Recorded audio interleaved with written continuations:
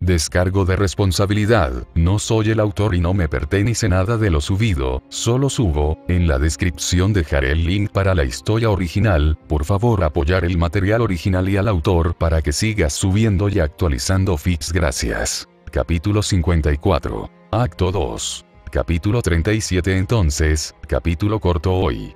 Actualmente estoy entrando en las últimas semanas de la universidad, así que necesito prepararme para algunos exámenes.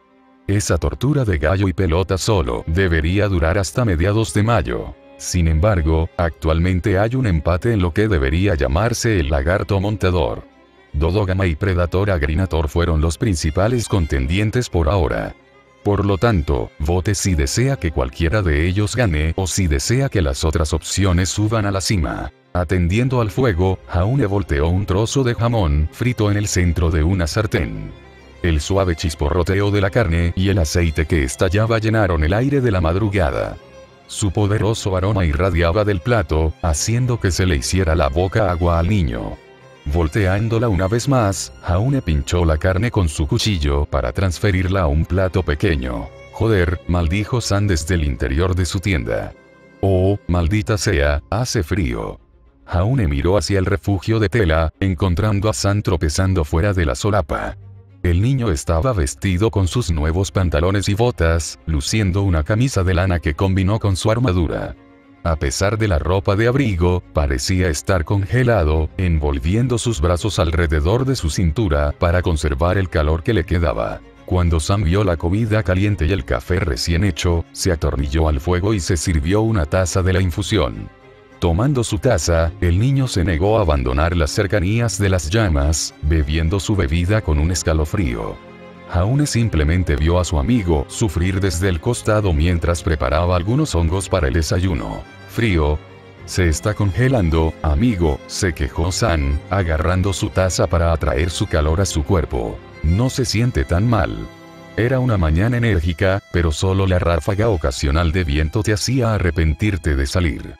Para Jaune, era perfecto para trabajar en la fragua. Era aún mejor el clima de Balean antes de que el verano caluroso y húmedo azotara el país. ¿No hace frío por la noche en Baco? Respondió Jaune, bebiendo de su taza. Nunca te congeles, dijo San con un estremecimiento. Siempre cálido junto a las selvas. Veo por qué San sugirió que fuéramos a Baco eventualmente. Podrías haberte quedado adentro, expresó Jaune, vertiendo los hongos en la sartén. Probablemente haga calor una vez que enciendes un incendio. No con el vampiro, protestó San, sacudiendo la cabeza vigorosamente. Ruby me contó que ustedes encontraron a esa chica en las minas. La casa es una trampa mortal si alguien está al acecho por allí. Justo sobre eso. Jaune nunca quiso luchar contra vampiros en espacios cerrados. El vampiro simplemente esperaría a la vuelta de una esquina a que te dieran la espalda. Al menos a la intemperie, nunca hubo un lugar donde el vampiro pudiera esconderse. Con la excepción de Pirra, Jan, Black y Ren, nadie se había vuelto instintivamente consciente de que alguien se escabullía detrás de ellos, por lo que era extremadamente peligroso intentarlo sin práctica. Menos la guarida del vampiro, ¿verdad? Planteó Jaune. Infierno sí, gritó San. Este lugar es bastante dulce. Mejor que el monasterio, pero no tengo idea de lo que voy a hacer aquí. Se ahuecó la barbilla y comenzó a mirar la casa. Tenía sentido. San era un huérfano con poco en el camino de cualquier valor personal. Por su propia palabra, había crecido en un refugio comunal sin espacio individual. Una casa masiva como esta se acercaba a la punta de sus fantasías. Era un lugar donde podía tener su propia habitación y hacer lo que quisiera. ¿Tengo algún pasatiempo? preguntó Jaune con una mirada curiosa. Dijiste que te gustaba la elaboración de cerveza. HMMM, en realidad no, negó San. Siempre fue trabajar, estudiar o pasar hambre, así que no teníamos tiempo para el arte ni para nada divertido. Miró alrededor del patio, mirando una pequeña sección de adoquines que solía ser la pared de una casa. Ahora que lo mencionas, probablemente pueda usar ese lugar para hacer un alambique. Solo necesita poner un techo sobre él y obtener algunas cubas de cobre para armarlo todo. Entonces podemos hacer alcohol para pociones y esas cosas, tal vez intente destilar un poco de brandy también. Eso suena como una buena idea. Mientras tuviera una idea, aún estaba a favor. Que Araxan le diera al grupo fue prueba suficiente para el paladín. Y como usaría esa casa derrumbada, el alambique podría ser alojado afuera y lejos de la estructura principal. No habría riesgo de quemar el lugar porque él todavía explotó. También le dio a San una razón para vivir aquí más allá de ser solo un lugar para agachar la cabeza. Podía personalizar su sección de la casa como mejor le pareciera. Podemos ver los huertos más tarde, sugirió Jaune. Oh, sí, quiero ver lo que están creciendo, expresó San casi con vértigo. Si obtuvieron alguna buena cepa, puedo hacer un coñac increíble con ella. Vamos a ser viticultores para cuando salgamos de Beacon. Jaune no se opuso a ello. Ser viticultor fue un trabajo duro por lo poco que sabía sobre la industria. Sin embargo, había una apelación romántica a la profesión que Jaune vio. Es, mi papá te va a amar tontos, dijo Jan desde detrás de la pareja. Estamos discutiendo la tradición consagrada de hacer que la gente sea tan mierda que no puedan mirarse a los ojos, replicó San con fingida indignación. Lo siento, no eres culto. Se puede mantener la cultura. Tomaré el buen brandy si haces alguno, expresó Jan, sin refutar la acusación. De todos modos, ves a mi papá. Alrededor de Jan, el resto de sus amigos se arrastraban fuera de sus tiendas. Black y Ruby parecían estar renovados y listos para partir. Ren, Nora y Wei se estaban quedando atrás. Sus contrapartes Mistral permanecieron envueltas en mantas o capas para protegerse del frío. Weiss parecía agotado de dormir a la intemperie. Se fue antes de que yo me levantara, respondió Jaune encogiéndose de hombros. Mierda, iba a ayudarlo a encontrar al mayordomo. Deberíamos empezar a trabajar en la casa ahora, propuso Pirra desde el interior de su tienda. No creo que sea una buena idea, cuestionó Weiss. Si esta casa no está a la venta, habremos hecho el trabajo por nada.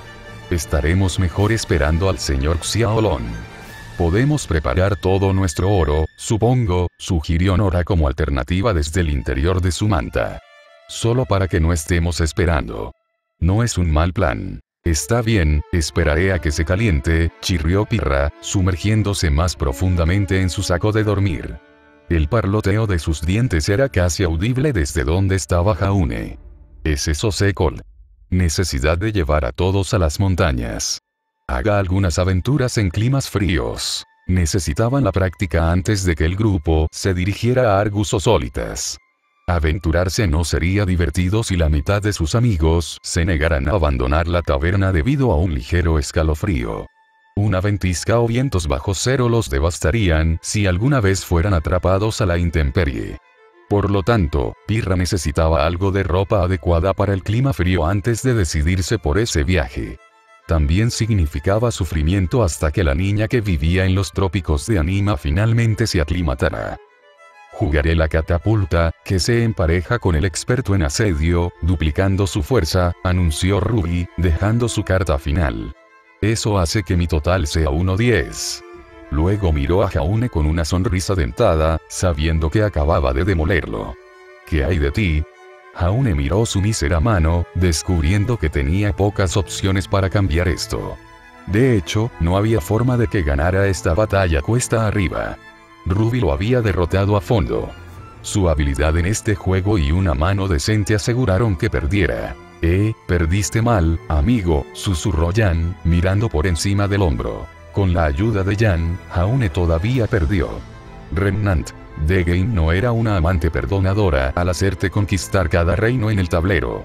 Incluso estaban jugando la versión de solo cartas, y Jaune todavía lo pasaba mal con ella. Mirando hacia el tablero, Ruby había fingido su asalto inicial usando unidades a distancia.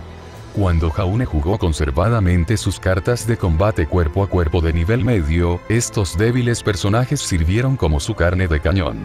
Ella sacrificó a algunos pobres Yaomen para sacar a Jaune. Cuando concluyeron la primera ronda, el paladín ganó con confianza. La segunda y última ronda fueron desastres totales. Ruby jugó sus cartas de más alto nivel, emparejándolas con los bonos que se les agregaron. Esto le permitió navegar más allá de Jaune y reclamar la victoria. Supongo que necesito jugar más a esto, concluyó Jaune, doblando colocando sus cartas en el muñón que sirve como su mesa. Está bien. Yang ni siquiera puede vencer a Ruby, con solo Pirra por detrás, abrazando a Dreisen como fuente de calor a pesar de estar envuelto en una manta. Ustedes tienen que recoger las buenas cartas, insistió Ruby, volviendo a armar su mazo. Todavía estás usando una baraja para principiantes. Remnant.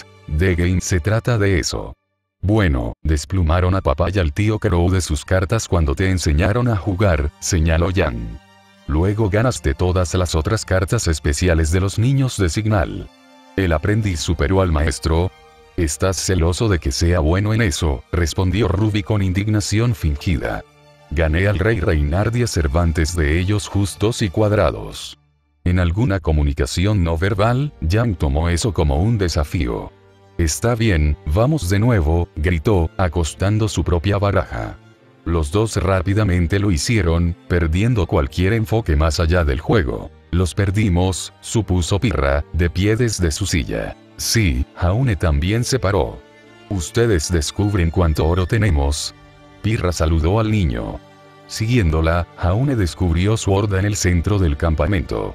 Nora, Ren y San trabajaron sobre la pila de oro y objetos de valor, contándolos y asegurándose de que sus estimaciones anteriores fueran precisas. Black se paró a un lado, arrojando una bolsa de monedas hacia arriba y hacia abajo mientras miraba por el área. Tenemos algo alrededor de 70.000 gravámenes, anunció Ren mientras la pareja se acercaba. 10.000 en moneda, los 45 en la carta, y tal vez otros 20 de los artefactos y armas. Al menos si son tan valiosos como pensamos. ¿Crees que el mayordomo tomará las espadas? Se preguntó Nora, insegura de si realmente tenían suficiente.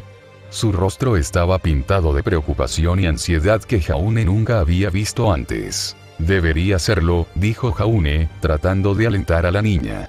Si no, tengo otros 12 que vienen de Cardin y sus amigos. Renunciaré al núcleo de Colem si tengo que hacerlo. Todavía es extraño que estés trabajando para ellos con armadura, amigo, expresó San molesto. Son pollas completas que solo lo usarán para follar con otro pobre tipo. Espero que no, realmente espero que no lo hagan. Es un gravamen, San, respondió Ren. Si no pagan o no intentan algo, podemos lidiar con eso. Sin embargo, Jaune dijo que estaban desesperados por la armadura. La expresión de San cedió. Está bien, todavía no me gusta. Yo tampoco. Un silbato de Black alertó al grupo sobre ella. Mientras sus ojos se acercaban al fauno, ella hizo un gesto con la cabeza hacia el camino que conducía a la finca. A caballo viajaban el profesor Godwitch, Tai, varios guardias y un joven. Este último era un humano, vestido con un fino doblete propio de un funcionario público.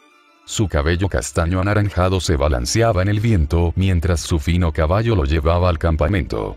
Hola, abrió el joven con un tono refinado y educado. Supongo que son los estudiantes que voy a conocer hoy. Saltó de su caballo y se acercó al grupo con una mano extendida. Soy Carnelian Adel. Sirvo como administrador de esta propiedad. Adel. Si mirabas lo suficiente, el niño era la versión de jengibre de coco. Por supuesto, con todas las características y alteraciones para convertirla en un hombre. El parecido familiar estaba ahí, como cuando Jaune y sus hermanas parecían estar el uno al otro con un vestido o armadura. Sin embargo, Carnelian carecía del exterior seguro de Coco que llamara la atención. Era una persona astuta con un ingenio agudo y mucho sucediendo detrás de sus ojos. ¿Eres el hermano de Coco? preguntó Ruby, inclinando la cabeza hacia un lado para verlo mejor. Ella se inclinó y entrecerró los ojos con fuerza, imaginando a Coco junto a él. Es mi hermana pequeña, admitió Carnelian. Pero sí, lo soy. En sus propias palabras, el nerd de la familia. Atravesó el grupo y comenzó a caminar hacia la mansión. Sin embargo, trajimos al profesor Godwich para que sirviera como tercero. Ella observará esta negociación para asegurarse de que sea aceptable. E. Jan vocalizó su confusión, levantando una ceja. Estoy aquí para asegurarme de que no se aprovechen de ti, tradujo el profesor Godwitch. Los estudiantes han sido estafados por aquellos que se hacen pasar por agentes del reino o por quien sea legítimamente dueño de la propiedad. Por lo tanto, hemos optado por involucrarnos como un tercero para participar en las conversaciones. Se movió para pararse junto a Carnelian. Además, Cinder está manejando mi clase esta mañana, así que voy a hablar en su nombre. Si siento que este acuerdo es justo y asequible, debo decir que sí. Inteligente. Al menos no nos van a robar. Ya veo, dijo Weiss en voz alta. Entonces, ¿podría hablarnos de esta propiedad? Parece que ha sido abandonado durante bastante tiempo. También está el tipo muerto que encontramos en el sótano, agregó San desde su silla. Vampiro lo tenía para un bocadillo. Oh, dijo Carnelian mientras su expresión caía. Se volvió y notó el cadáver envuelto que yacía en la base de las escaleras. Eso no es, se cortó mientras se movía para inspeccionar el cuerpo. Inclinándose, se quitó la tela de la cara para mirarlo. Oh, mi. Lo siento, tenías que encontrar esto aquí. Carnelian miró a uno de sus guardias. Hax, ¿podrías llevar a este hombre a la morgue? Una vez que haya terminado, podría buscar encontrar a sus parientes. Es probable que sea de las aldeas cercanas. Lo tengo, jefe, dijo el hombre mientras recogía el cadáver y lo cargaba en su caballo. Con un clic de su lengua, rápidamente se fue de la propiedad. Bueno, dijo Carnelian, respirando hondo. Estoy seguro de que has estado dentro, así que no hay necesidad de un recorrido. Palideció ante la idea de entrar en la casa. Esto es una rareza para mí, te lo puedo asegurar. Por lo general, mantenemos estas propiedades bien cerradas. Está bien, señora Del, respondió cortésmente Ren. Estamos acostumbrados a ver cosas como esta. Está bien, estoy perturbado, pero contento de ver que no estás tan repelido por eso como yo, expresó Carnelian, tomándose un momento para despejar su cabeza. Sin embargo, te estaba hablando de la propiedad. Arregló su doblete y puso una expresión de confianza. Hay docenas de castillos, fincas y casas abandonadas en todo el reino para las que sirvo como mayordomo. Muchos fueron construidos recientemente o reparados desde la Gran Guerra. Esta finca, de Torchwick Family Manor, fue una de ellas. El homónimo de la mansión es un clan antiguo y anteriormente prestigioso cuya línea se remonta al rey Graciano el Hermoso hace más de 400 años. Toda su fortuna se basó en el comercio, la producción y fabricación de cultivos o alimentos, es decir, vinos o diversos productos frutales. ¿Qué uvas usaron? Preguntó San, con su interés en su punto máximo. Una cepa de Cabernet Sauvignon y Ugni Blanc, respondió Carnelian. Sin embargo, tendría que consultar con un viticultor o enólogo para estar seguro. Tengo algunos amigos que podrían ponerte en contacto. Pero, el resto de los cultivos eran principalmente manzanas, naranjas u otros árboles frutales. Los melocotones entran en temporada bastante bien en esta época del año. Cada uno de los huertos que rodean la finca se extiende por varios kilómetros en todas las direcciones. Es un paseo maravilloso independientemente de la temporada. Entonces, ¿por qué el lugar está tan deteriorado? Preguntó Blake. ¿Algo le pasó o qué? La familia Torchwick solía ser dueña de esta finca, reveló Carnelian con un suspiro. Algunas malas cosechas y deudas los alcanzaron. El último hijo, Román, decidió que lo mejor era entrar en el contrabando u otros actos criminales para evitar a los acreedores. Aunque logró saldar sus deudas, su asociación con el submundo criminal de Vale fue su perdición. Unos pocos aventureros lograron romper un intercambio de mercancía robada, por lo que Román fue arrestado. Sus amigos lo abandonaron por indulgencia. Esto llevó a que la herencia fuera confiscada y sus títulos despojados romano. Es ese tipo de la reunión. Un antiguo noble llamado Román era demasiado para ser una coincidencia. Era una razón para que tuviera uno eso para recoger con los responsables. Entonces, se aprovechó de aquellos que compartían su actitud contra los nobles para sus propios objetivos. Sin embargo, sus acciones no eran de ninguna manera justificables. Fue su culpa que lo perdiera todo. Necesito ver si ha sido tratado. El profesor Spin nunca dijo nada sobre la carta. Entonces podemos asumir que esa es la razón de la condición de la finca, planteó Weiss. Nadie quería comprarlo debido a su historia. En una palabra, sí, estuvo de acuerdo Carnelian. Mi departamento tampoco tiene los fondos para mantener una propiedad de este tamaño. Nuestro pequeño presupuesto solo garantiza que unos pocos miembros del personal hagan sus rondas. Principalmente revisamos las casas en busca de ocupantes ilegales, como ustedes en este momento, o una posible infestación de monstruos, que luego convocamos a aquellos como usted. Apesta que no pudieras cuidar este lugar, expresó Pirra, mirando la casa con una expresión decepcionada. Fue hermoso en algún momento. Entiendo, suspiró Carnelian. El reino no tiene la moneda para gastar en renovaciones para estas antiguas mansiones, por lo que no es el único que ha caído en mal estado. Sin embargo, también significa que el precio será mucho más bajo de lo que valoramos inicialmente. Entonces, para ti, existe ese lado positivo. ¿Cuál es el precio, entonces? preguntó Ruby. Bueno, actualmente valoramos la mansión en alrededor de 95 mil gravámenes, incluidos los campos que rodean la finca y todo lo que contiene, explicó Carnelian. Pero, debido al mal estado de la propiedad, podemos despegar 20 mil ya que eso será necesario para las reparaciones. Luego, para los aventureros o aquellos asociados con Beacon, eliminamos otro 20% debido a una iniciativa del reino para alentar su asentamiento en Vale o sus ciudades. Esto te llevará directamente a 60.000 gravámenes. Lo tengo, dijo Jan, siguiendo con la última palabra. Está bien, grupo se acurruca, chicos. Dejando Carnelian por su cuenta, el profesor Godwit y Tai se unieron a los nueve estudiantes. Cada uno parecía aliviado, estresado o en algún lugar entre los dos. Tai y Godwich fueron los únicos genuinamente tranquilos y recogidos. Está bien, entonces, ¿cómo nos sentimos acerca de esto?